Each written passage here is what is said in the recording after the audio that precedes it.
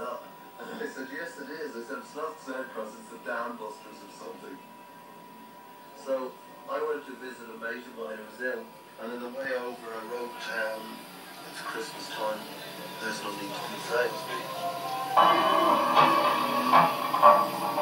It's Christmas time, and there's no need to be afraid. At Christmas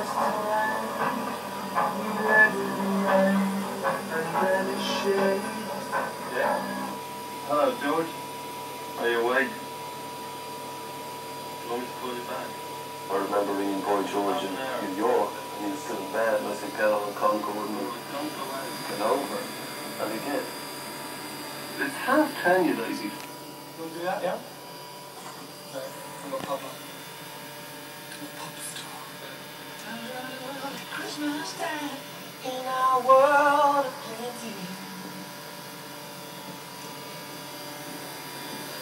Time. Joe Cocker. Joe Cocker. You Irish munchkin.